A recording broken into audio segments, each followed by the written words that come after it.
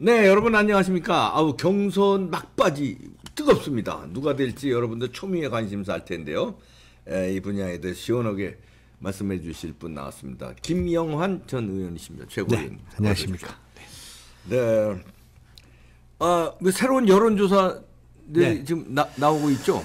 지금 어, 최근 오늘 나온 예, 건가요? 오늘 이제 여론조사가 네 개가 쏟아졌습니다. 네. 네 개가 쏟아졌는데 우연인지는 모르겠지만 네. 대체로 비슷합니다. 아, 그래요? 예, 하나는 이제 유선 전화, 네. 그다음에 이제 나머지는 ARS 이렇게 네. 돼 있습니다만 그 트렌드만 지금 보면 되는 거예요. 그렇죠. 예.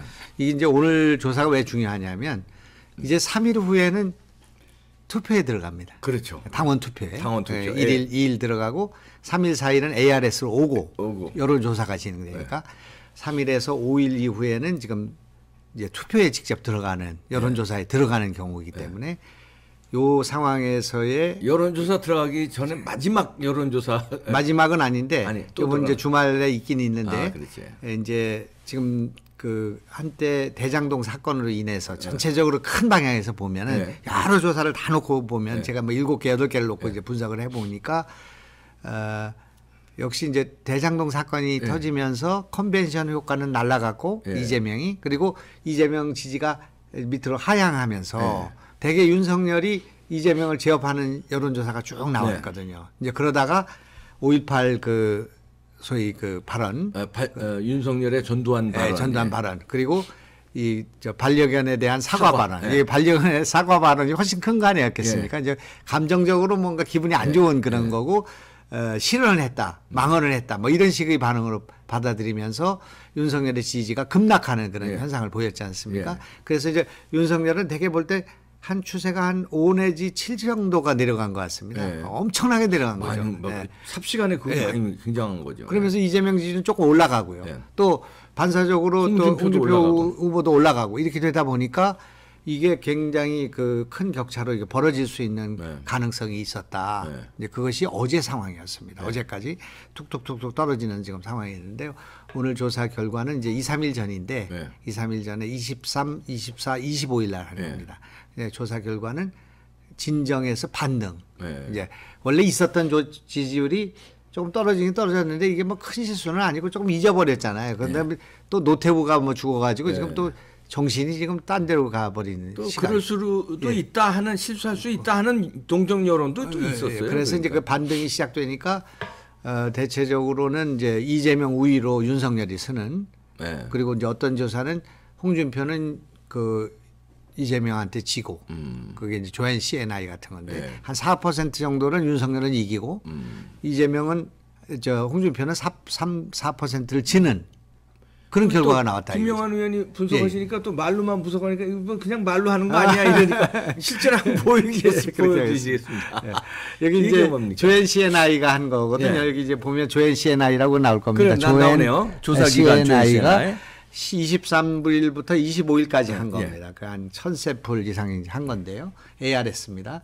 그래서 이제 우선 이 맛보기로 예. 우리 이, 이재명 지사 대장동 책임이 어떻게 되냐 예. 보니까 이건 법률적으로 책임져야 된다. 갖다 가둬야 된다. 수사해야 된다. 이게 45.1%고 예, 예, 특검 갈 수밖에 도의적인 없네. 책임이 13.4%, 관리적인 책임이 합쳐서 이게 한 70%, 77% 정도가 나온 겁니다. 책임이 있다는 네, 책임이 게 있다가. 이게 70 그러니까 여기까지는 표를 찍지 않는 거죠, 이 사람이 네, 나오면. 그렇죠. 그리고 이제 요거는 죽어도 찍는 사람이죠. 그렇죠. 여기에. 책임이 없다는 거니까. 그래서 이걸로 보면은 이제 특검으로 갈 수밖에 없다. 조금 이따 또 어, 말씀드리겠습니다만은 여론이 이렇게 돌아가고 예. 있다.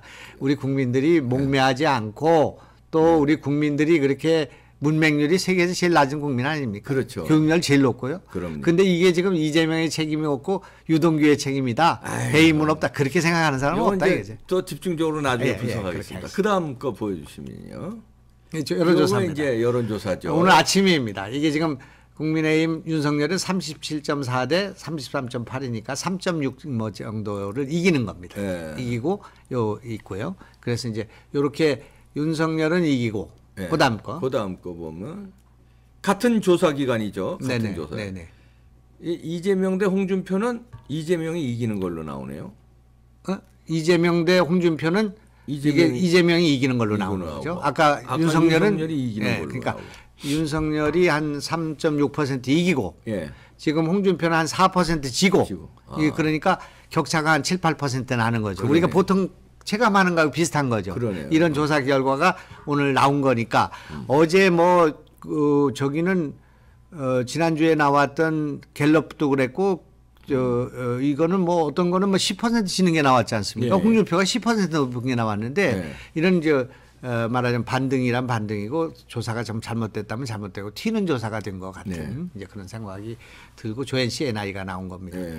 그리고 이제 오늘 리얼미터가 또 나왔습니다. 또 나왔죠. 네. 한번 보시겠습니다. 그 리얼미터는 이제 그 문장으로 되어 있습니다만은 아, 요건 이제 네. 펜앤 여론조사 요거 이제 펜앤 마이크를 먼저, 먼저 거기에서 하는 여론조사입니다. 네. 이걸 보면 어, 여기에도 어, 사자 가상 대결 시에 윤석열이 34.9. 34.9, 35. 이재명이 32.5, 안철수가 4.5, 심상정이 4.4 이렇게 됐지 않습니까? 네. 그리고 이제 이재명 이것도 요것도 이기긴 요 요거는 이제 국민의당 경선 후보 네. 사자 후보 요거는 지금 저기 역선택이 작용한 겁니다. 네. 요건 이제 조금 이따 좀 말씀드리겠습니다만은 33.7, 29.3이지만 격차가 오차 범위 내에 있고 음. 별거 아니다 그런 얘기예요. 여기서 많이 이겨야만 홍준표가 이길 수가 있는데 음. 요거는 비슷한 상황이고 윤석열이 이재명을 앞서는 그리고 윤석열과 아, 아니 그 홍준표와 이재명 사이는 어떻게 됐는지는 지금 여기가 좀 더 봐야 되겠습니다만은 이런 거기 때문에 대체적으로 하강이 멈췄다. 그리고 반등이 시작됐다. 윤석열이 이재명보다 위로 갔다는 것은 굉장히 그 좋은 지금 상황을 징조를 보이고 있다. 그렇게 볼 수가 있습니다. 좀 올려 보시면 네, 예, 요게 이제 그 조사에 이제 네. 저, 저 아, 요, 요 리얼미터가 예, 예. 요것이 이제 지금 어, 대선 공감도 네. 정권 교체해야 된다는 게 90, 50% 를 넘어섰지 않습니까? 네, 50.4. 그리고 정권 연장률이 33.4이기 때문에 앞으로 우리 선거가 야당으로 넘어올 가능성이 크다는 걸 보여주는 거죠. 정권 교체가 60%인데 절대 정권 교체가 50.4. 50.4. 가능하면 정권 교체가 네. 9.7인데 네. 합쳐서 60.1이 정권 교체해야 된다. 예, 지금 그러니까 얼마나 이놈들의 그 저 이놈들이라기보다 문재인 정권과 네. 이재명의 적폐가 얼마나 심한가는 걸 보여주는 그거죠. 거죠. 네. 쭉 올려 보실까요? 또 좀 올려 보시면 표가 있는 쪽으로 가시죠. 뭐 네. 표로. 네, 여기를 요거는- 보시면 윤석열 대 이재명이 34.9 대 32.5로 윤석열이 앞서는 조사가 나온 거죠. 네.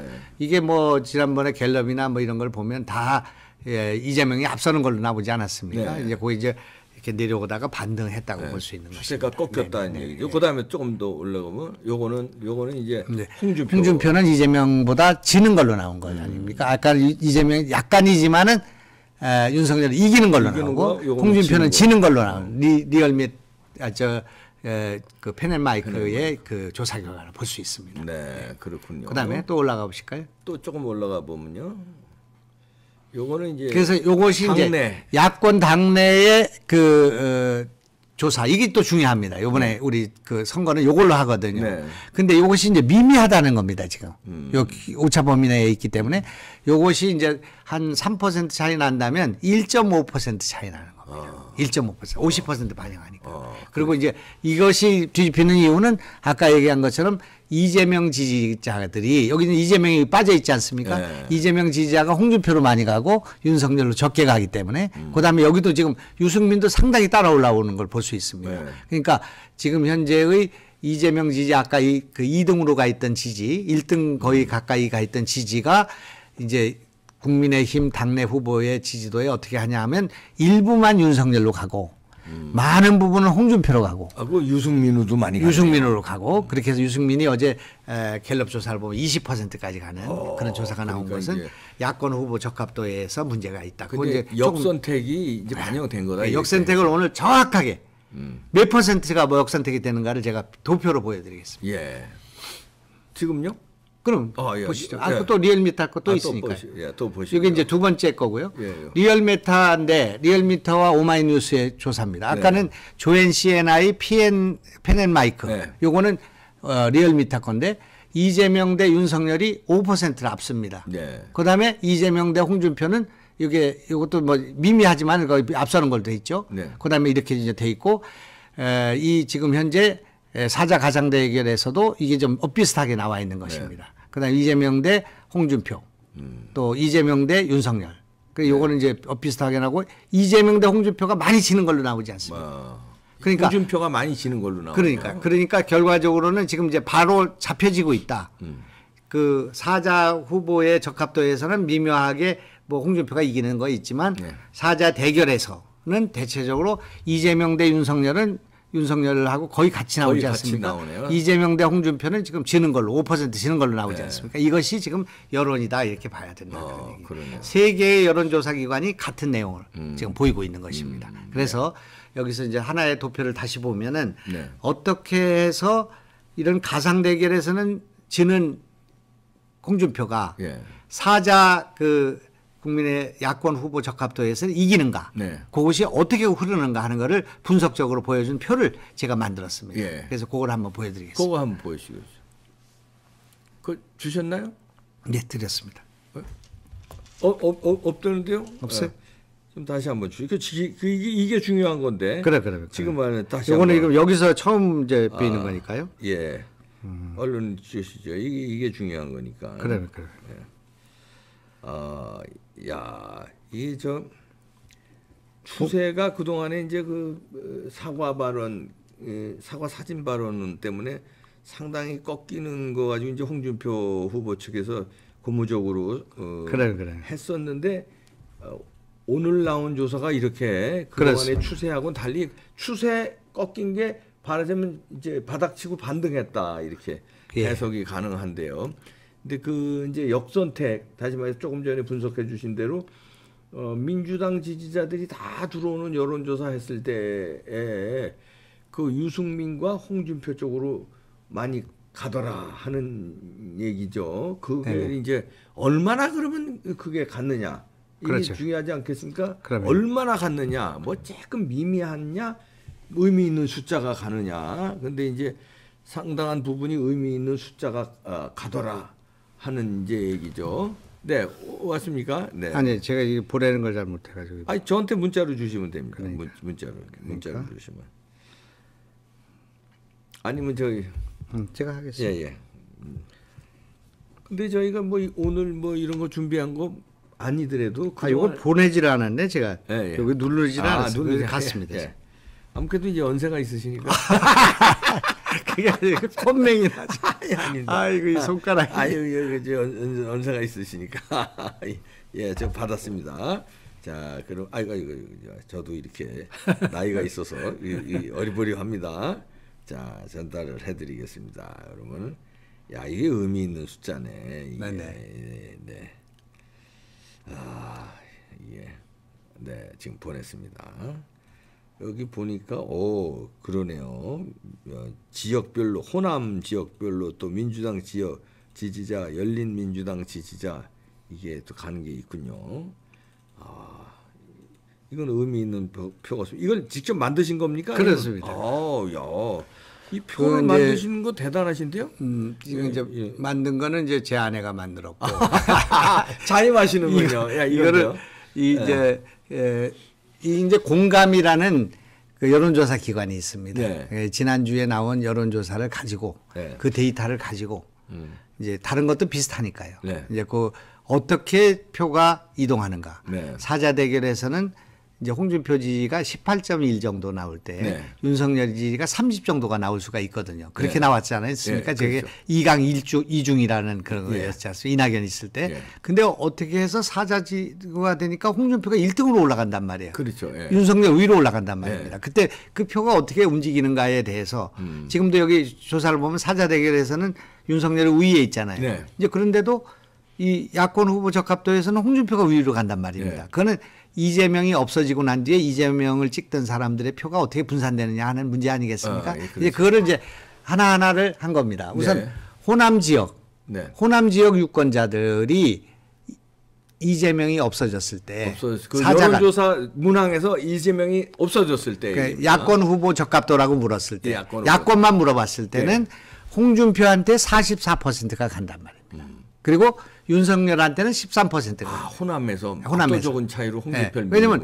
홍준 이 지금 호남 지역 사람들 가운데서는 민주당 세가 강한데 네. 민주당에서는 이 윤석열은 완전 배반자. 그렇죠. 문재인 대통령의 배반자이면서 자기들한테 칼을 들이대는 사람이고 그뭐 조국을 잘했다고 하는 사람들이 대부분이니까. 네, 그렇죠. 러니까 44대 13이 되니까 배율로 3.4배가 홍준표한테 간다 그런 네, 거예요. 홍준표. 또 민주당 거기 이제 보면 민주당을 지지하는 분들 있지 않습니까? 예. 이재명을 많이 갔을 건데 이 민주당 지지자들은 홍준표한테 50%가 가고 오. 윤석열한테 13%가 간단 말입니다. 호남이나 민주당이나 윤석열은 비슷하네요. 그래 민주당 지지자가 더 더 가죠. 예. 더 가는 거죠. 아니 윤석열하는 윤석열은 아, 호남이나 왜 비슷한데 이, 이거는 뭐 홍 홍준표는 호남 지역보다도 민주당 지지자가 더 가네. 그렇지. 5%. 여기는 민주당 지지자는 철천지 원수죠 지금. 윤- 윤석열을 찍는 사람들은 철천지 원수죠. 이거 뭐 그래도 정의야. 그 사람도 정의야. 그래서 일로 가는 거지. 네. 홍준표는 못 찍어 나는. 그래서 이렇게 가는 게 13%고 홍준표 그래 찍어서 홍준표를 찍어야지 떨어뜨려야지. 그렇게 우리가 해야지. 이게 50%가 되니까 3.7배가 되는 것입니다. 그다음에 조금 더 올리실까요? 예, 열린민주당 열린민주당이라는 당 아시죠? 이거? 그렇죠. 거기에는 홍준표가 38%가 가고 윤석열 11%가 가서 아, 저기서도 3.3배가. 압도적으로 홍준표가. 그다음에 문재인 정부 국정 수행 평가가 잘했다는 사람들 있잖아요. 네. 그, 그런 사람 있지 않습니까? 저쪽 사람들이죠. 예, 그런 사람은 대깨문들. 홍준표의 51%가 가고 윤석열한테는 11%가 가니까 4.7배가 간다. 이건 이제 대깨문들이라고 볼 수 있습니다. 대깨문들. 대깨문들일수록 더 벌어지는. 다 거예요. 벌어지죠. 예, 그다음에 대장동 검찰 수사가 아주 잘 됐다는 사람. 아주 잘 됐다. 그 사람은 홍준표가 50.7% 윤석열이 13%가 가니까 3.7배 간다. 이게. 또 대장동 특검 도입에 반대 이런 저 조사를 한 그 여론조사니까요. 그러니까, 예. 그러니까 내가 물어 여기 그러니까. 있는 나온 거죠. 야. 대장동 특검 도입을 반대하는 사람들 있잖아요. 특검 도입 반대한 사람 오죽하겠습니까? 52.8%가 홍준표로 가고 아유. 윤석열은 11%가 4.4패가 된다. 이것은 10월 25일 날 공표한 26일 현관의 홈페이지 백데이터가 공개한 공정의 조사 결과를 인용한 거다 이거.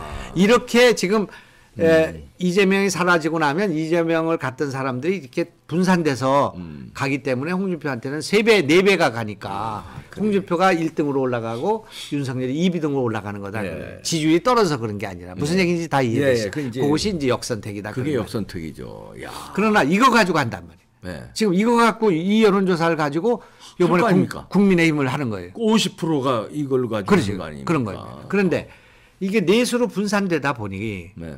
이게 표 차이가 아까 보신 것처럼 그렇게 11점 얼마가 가도 네. 윤석열이 원래 높은 상태에 있었기 때문에 결국은 18점 얼마에서 30 얼마로 올라가 가지고 그 차이가 음. 한 4, 5% 내지 6, 7%가 되지 음. 뭐 10%, 20%가 되지는 않는다 그런 얘기. 예. 그러니까 우리는 1차 컷오프 때도 그랬고 2차 컷오프 때도 다 졌습니다. 그게. 네. 예, 야권 후보 적합도에서. 예. 왜냐하면 여당 찍는 사람들이 가서 홍준표를 찍어주니까. 네. 홍준표, 유승민으로 가는데 홍, 이게 반반 가면 우리가 이기는데 이게 홍준표로 많이 간단 말이에요. 유승민보다 홍준표를 많이 가죠. 많이 가죠, 이게 압도적으로 많이 가죠. 왜냐하면 유승민은 안 될 걸로 아, 보고 그래, 그래. 홍준표는 자기들이 밀어주면 될 걸로 보니까 거기 이제 그런 효과가 있는 거죠. 그게 이제 피가 배- 땡기기는 유승민한테 더 땡길 그 거예요. 역차별에 있어서 밴드웨건 효과라고 하는 거예요. 홍준표가 아니 유승민이 더 땡기지만 그렇지, 그래. 밀어줘봐야 안될 그래. 사람이니까 맞아, 맞아. 밀어줘서 될 사람한테 가는 거죠. 그리고 이제 홍준표가 나오면은 또 이제 뭐 저기들 쓸 카드가 많잖아요. 막말을 한 거, 뭐 돼지 뭐부터 시작해서 많으니까 네. 홍준표 나와라 나와라 하고 있는 거죠. 그렇게 이제 되다 보니까 역선택이 글로 가서 이제 그렇게 문제가 나왔는데 결과적으로는 제가 볼 때는 네. 절대로 이길 수 없는 지금 여론 지금 게임을 하고 있다고요. 음. 예. 지금 홍준표가 이길 수 없는 게임이에요. 제가 볼 때는 음. 왜냐하면 한번 생각을 해보세요. 이 지금 사자로 분할되는 이거는 이겨봐야 5%예요. 네. 10%를 이겨야 5% 되는 거 아닙니까? 50%니까. 네. 지난번에 2차 컷오프에서 8% 졌다고요. 네. 윤석열이 야권 후보 적합도에서 네. 8% 졌지만 그때 0.7이었잖아요. 네. 70% 반영한 70%. 거예요. 그70 곱하기 이 여론조사 8 하니까 5.6%를 졌거든. 네. 그러나 이쪽에서 막 많이 이겼기 때문에 4. 몇 퍼센트를 이겼거든요. 네. 정확한 건 모르겠습니다만은 이제 그러기 때문에 이제 그런 2차 컷오프에도 졌거든요. 네. 근데 3차 컷오프에는 더 좁혀지거나 뭐 비슷한데 그래 봐야 10%를 졌다고 합시다. 그러니까 저 야권 후보 적합도에서 저기가 그 홍준표가 30이고 40이 나왔고 윤석열이 30이 나왔다. 그래서 10일 졌다고 하면- 하면은 그리고 이제 그 유승민하고 원희룡도 가져가는 거 아니겠습니까? 그렇죠. 그러니까 거기서 뭐한 2, 30 빠지고 하면 70 남은 중에서 40대 30이 됐어도 10% 져도 5%밖에 안 된다 그런 얘기예요. 예. 곱하기 0.5니까. 그러니까 50% 반영이니까. 그러니까. 예. 그러니까 5%가 지는 거다 그런 얘기. 그런데 우리 당원들 조사에서는 당원 ARS. 어떤 조사에서도 어떤 그 지금 현재 조사에 나오는 것 가운데 국민의힘 지지자에서 조사가 약 17마지 20 정도가 윤석열이 높게 나오고 아, 있거든요. 그렇게 나 차이 나요? 그럼 나오죠. 50대 뭐 33, 50대 뭐 35 이렇게 나오는데 음. 그거보다 그거보다 우리 실제로 하는 투표는 두 배 더 강하게 나온다고요. 음. 그거 무슨 얘기냐? 지금 여기 국민의힘 지지자는 그냥 보통 그 야권 지지하는 정권 교체 지지하는 사람들이고 네. 요번에 투표하는 사람 적극적인 책임 당원이죠. 책임 당원이니까. 말하자면 혁명 수비대들이 하는 거예요. 그냥 여론조사하고는 다른 거지 이게. 혁명 수비대들은 통밥이 다 굴러가는 사람이야. 네. 이번에 선거하는데 윤석열이가 와서 유세하면 좋겠나? 홍준표가 와서 유세하면 좋겠냐? 이걸 다 계- 계산하는 사람이야. 음. 선거를 막 수도 없이 치러본 사람들. 그렇지 않겠습니까? 예, 예. 그렇기 때문에 이 지금 국민의힘의 여론조사에서 15%가 나온다는 것은 우리 그 책임당원들이 투표할 때는 30%가 나온다는 걸 말하는 거다. 아, 무슨 말씀이 이해되시? 차이가 차이가 차이가. 네, 차이 차이가 그렇기 때문에 15%는. 에, 이거는 이길 수 없는 게임이다 이거죠. 아. 그러면 이기려면 어떻게 써야 되냐? 홍준표가 이기려면 네, 이기려면 1대1을 선택했어야 된다 이게. 아. 1대1을 선택을 하면 이길 수는 없지만 그래도 이기려고 가능성을 보려면 1대1을 선택했어야 된다. 1대1이라는 건 이제 가상대. 이재명 대 이재명 대 홍준표, 이재명 대 윤석열, 이재명 대 원희룡 이런 식으로 그렇죠. 가상대 얘기를 그렇게 되면 어, 윤석열이 이를테면 이재명한테 뭐한 어, 5% 진다. 근데 홍준표가 이재명한테 10% 이긴다. 네. 그 15%를 가져갈 수가 있는 거예요. 네. 어차피 안 되는 거지만 여기에는 승부가 좀 있을 수가 있단 말이에요. 네. 그러니까 그 역선택을 아까처럼 그렇게 하는 사람들이 많이 있는데 역선택이 야 윤석열 할 때는 이재명을 찍고 가상 대결에서요. 네. 홍준표 할 때는 홍준표 빼서 홍준표를 찍자. 그러면 홍, 이, 이 윤석열 때는 마이너스가 되고 홍준표 때는 플러스가 돼가지고 이 격차가 늘어날 수가 있어요. 그런 경우가 생길 수가 있습니다. 네, 그렇지. 그러나 그렇게 되면 어, 홍준표가 먹는 게임이 하나 생길 수가 있는데 이 사람들이 지금 사자 대결만 하면 조용히 지는 그런 길을 선택했다. 그렇게. 근데 그거를 선호한 거 아니에요 저쪽에서 그걸- 선호했는데 오히려 자기들이 선호하는 늪에 빠지는 거다 이런 얘기네요. 그게 이제 무식한 예. 아, 그거, 야, 이게 지금, 근데 이제 그, 아까 당원이 그렇게 차이가 많이 난다고 그랬잖아요.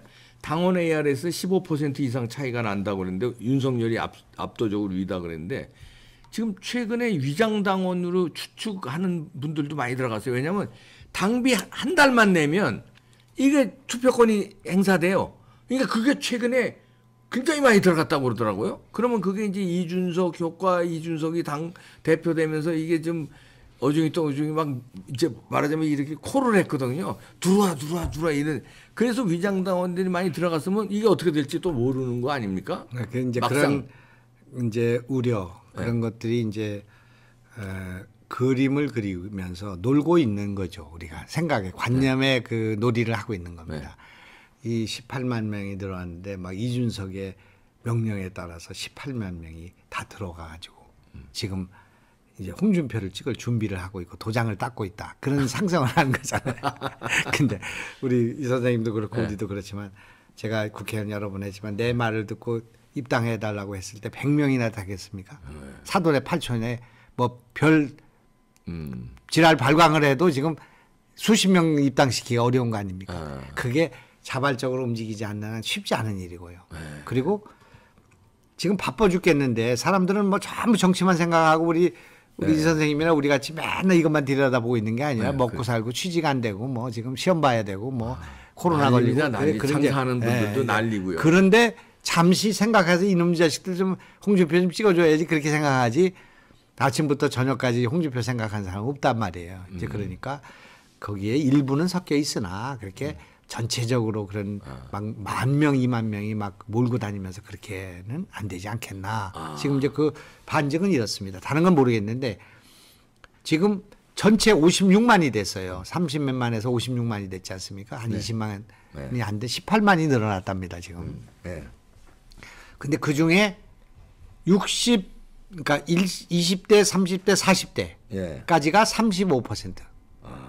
50대, 60대, 70대, 80대가 65%입니다. 예. 그러니까 한계가 있고요.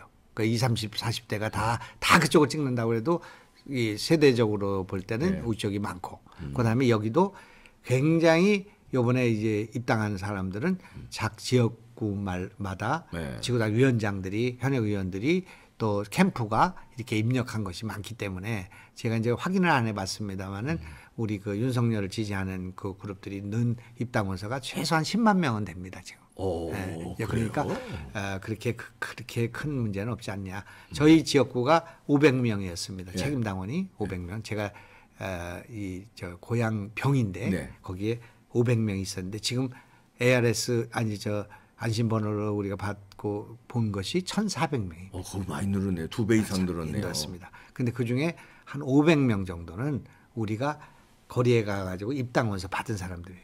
예. 근데 그게 무슨 이준석이나 뭐 20, 30대 대깨문 그건 아니란 거네. 예. 그리고 여기에 이제 다음 지자체 선거 하려고 준비하는 사람들이 시의원, 도의원 이런 나가려고 하는 사람이 자기 당원들을 확보하기 위해서 갖다 넣은 게 50장, 100장 이렇게 있고요. 음. 그다음에 온라인으로 들어온 게 조금 있고요. 이제 그거 성향이 좀 의심이 되는 부분이 뭐 100명 정도 됐는지 200명 됐는지 그런 거이기 때문에 결정적인 대세에 영향은 없지 않을까 음. 이렇게 생각합니다.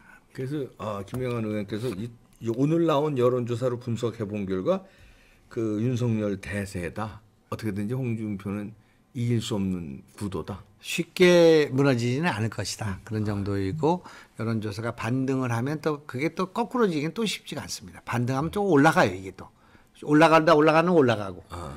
그러니까 꺾이는데 추세는 반등 점 찍고 올라가는 중이다 이런 그렇지. 얘기죠. 지금 내가 설명한 예, 걸 예, 보니까 그렇죠. 다 이해가 되시지 예, 않습니까? 예, 예. 아. 그러니까 그것이 이제 그럼 왜 반등하는가? 요 며칠 사이에 음. 그러게요. 이제 그거를 보면 더 반등할 것이다. 저는 그렇게 생각하는데 어, 사람들 반등한 이유는 예?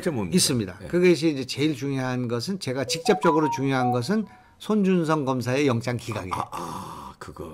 송준성 검사가 만약에 영장을 받아서 구속됐다고 해봅시다. 아, 그럼 오히려 타격 받았을 거예요, 윤석열. 그럼 윤석열 고발 사주가 저 사실인가 보다. 음. 저 사람이 본선 가면 좀 문제 있는가 보다. 그래서 저거 홍준표가 얘기하는 대로 저거 끝까지 못 가는 거 아니야? 이런 생각을 할 수가 있단 말이에요. 네. 근데 그것이 기각됐고. 그 기각이 됐을 뿐만 아니라 굉장히 절차에 문제가 있고 그것이 윤석열 죽이기라는 생각을 하게 됐단 말이에요. 네. 이제 그러니까 야 그걸 체포영장이 기각됐는데 조사도 안 하고 그거를 또 영장을 쳤는데 구속영장 영장을 치는 이유가 국민의힘 전당대 지금 저, 이- 저 경선이 진행되고 있으므로 빨리 쳐라.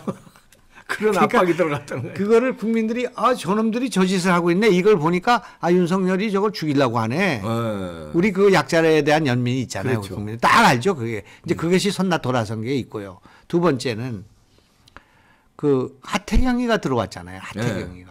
근데 하태경 전에 일곱 명의 국회의원이 들어왔고 일곱 명 국회의원 전에 박진, 유정복 또저 무슨 저 김태호 음. 거물급들 많이 그거 다 들어왔죠. 들어왔죠. 예. 그 전에 또 주호영이 들어왔잖아요. 예. 그럼 저 집안이 안 되는 집안인데 왜 저렇게 왜 이렇게? 들어오지? 그 사람들이 다 빠꼬미들 아니겠습니까? 그러니까요. 선거에서. 네. 그러니까 쫙 들어오는 걸 보니까 아, 이쪽이 대세가 저쪽인가 보다. 음. 근데 뭐 홍준표는 들어가는 사람이 없잖아요. 어? 지금 내가 기억하는 건 이인재 정도가 옛날에 그 안상수 후보. 안상수하고 또 이현주. 이현주 의원. 예. 아, 제일 제일 크, 컸던 분은 이제 최재형. 최지영 제일 컸죠. 아, 그건 제일 컸다. 맞아요. 네, 그런 이제 그런 게 있었는데 그러나 이제 전체적으로 볼 때는 이제 대세가 글로 가고 있구나 하는 생각을 할 수가 있고요. 네. 그다음에 이제 세 번째는 제가 볼 때 이 강아지 때문에 화를 내긴 냈는데 네. 이게 지나고 나니까 뭐 강아지가 뭐 똥을 싼 것도 아니고 강아지가 어떻게 누구를 물은 것도 아니고 네. 이게 좀 뭐 때문에 그렇게 화를 냈나 기분은 안 좋았는데 뻘쭘해진 거예요, 그 사실. 그래서 그게. 그것도 이제 좀 그런 데다가 노태우가 죽었단 말입니다. 아. 노태우가 이제 사망을 했는데 노태우 대통령이 사- 사망을 하시니까 근데 여론이 이 노태우에 대해서 나쁘지가 않아요 지금. 네, 나쁘지 왜 않아요. 나쁘지가 않냐? 제가 볼 때 이 해석이 이렇게 되는데 첫째 이 전두환 때문에 나쁘지가 않아. 네, 상대적으로. 어, 상대적. 첫째는 용서를 빈다. 네. 깊은 용서를 빈다. 자기가 잘못한 것에 대해서 어쨌든 그 그것이 유서같이 그렇죠. 나왔잖아요. 그다음에 두 번째 추징금 다 냈잖아요. 추징금을 그냥 알뜰하게 다 냈어 몇 년에 걸쳐서. 그러니까 그 22만 원밖에 없다 지갑에 그런 전도 안 하고 비거가 되고. 네. 그다음에 이제 노재현이가 해마다 가서 광주 가서 그 했더만요. 또 사과를 하고 하니 또 이제 용서가 되는 측면이 있잖아요. 그런데다가 보니까 이분이 뭐 북방 외교부터 외교를 어, 업적이 잘했고 지금 다시 재조명되고 있습니다. 어, 그리고 네. 뭐 KTX 뭐 인천공항 야 이 사람이 이거 했나 나도 이번에 처음 알았습니다만은 몰랐던 사람이 많이 알았어요. 그리고 네. 6.29를 했잖아요. 어쨌든 그렇죠. 6.29는 그건 어쨌든. 직선제를 받아들인 거니까 그래서 이제 국장을 국가장을 하게 된 거 아닙니까? 그렇죠. 이제 그러다 보니까 어, 우리 그 어, 윤석열 어, 총장의 말씀도 좀 한번 생각할 만한 구석이 있었던 거 아닌가 그런 생각이 조금 깔린 거 아닌가 싶어요 제 아, 생각에. 아, 그 예. 좀 그리고 이제 분석이네요. 제일 중요한 것은 지금 국정원은 뭐 박지원의 국정원 아닙니까? 예. 그분이 그 조상이하고 원하는 시간에 그걸 하자고 지금 짜다가 그러죠. 그리고 그 여자애를 그냥 롯데 호텔에서 만나가지고 이렇게 만나고 뭐 예. 어, 국정원 고- 공관에 불러서 얘기하고 막 그런 사이가 아니었습니까? 그렇죠. 이제 그렇지만 아 그 국정원, 그다음에 이제 검경, 그다음에 공수처, 그다음에 민주당 180명의 네. 의원인데 이게 말이 맞춘 것처럼 나와. 송영길이가 말하는 대로 공수처가 움직였어요, 이번에. 그렇죠. 그리고 청와대도 이거 가만히 보니까 이게 윤석열 죽이는데 앞장서고 있단 말이에요. 그리고 각종 공영 방송, 네. 그다음에 여론조사 이걸로 해서 집중적으로 지금 윤석열 죽이기를 했는데 지금 노태우가 저렇게 되다 보니까 그거 할 겨를이 없어. 관심이 사람들이 조금 단대로 갔어요. 그래서 윤석열 주기가 약간 시들해진 상황이 있어요 지금. 그러지 않았으면 내가 생각할 때 도이치 모터스 같은 걸로 김건희 같은 사람을 막 부른다든지 왜냐면 지금 경선에 영향을 줘야 되니까. 그런데 그것이 조금 주춤거린 거. 그것도 선제적으로 저 계좌를 깠잖아요. 예. 그리고 그래서 이제 이런 여러 가지 것들을 볼 때는 이제 에, 위기를 좀 벗어난 거 아닌가 그런 생각이 들죠. 아유 그뭐 아주 그 통계 분석가처럼 이렇게 치과 의사 출신의 정치인이 아주 통계를 아주 제대로 분석하시네요. 제가 정세 분석 실장. 그, 어, 그, 아, 아이고 죄송합니다. 내가 아이고, 저 저, 저, 저, 김대중 정부 하에 아이고, 4년 동안 정세 분석장을 그렇지. 하고 대선과 지방자치선거와 총선을 다 기획했고 여론조사를 700회 정도를 옛날에는 당내 ARS가 있었어요. 그 문화를 만들어서 막 짜고 이런 걸 다 알기 때문에 그 관록을 제가 몰라보고 아이고 저 죄송합니다. 러시아 혁명기에 수슬로프라는 사람이 있는데 이론가인가 봐요. 나는 몰라요. 그런데 이 옛날 좌파들이 나를 에, 우리 그 민주당의 수슬로프라고 불렀으니까. 저- 수슬로프. 저분이 그 하는 얘기를 들어야 된다. 아, 아, 예. 그런 정세 분석을. 근데 뭐 우리 윤 총장님은 그런 걸 모르실 거예요. 어. 제가 그냥 뭐 글이나 잘 쓰고 뭐 그 자기를 조- 지지하는 걸로 알겠지만 나는 이제 아주 정교한 분석을 지금 그러네요. 제가 지금 들어보고 깜짝 놀랐습니다. 저도 이제 방송밥 먹은 지가 좀꽤 되는데, 야, 이건 완전 이거, 이거 저 그쪽 분야 전문가 이상 뺨쳐서, 아니, 저분이 저쪽 전공이신가 할 정도로, 아, 그 정세 분석.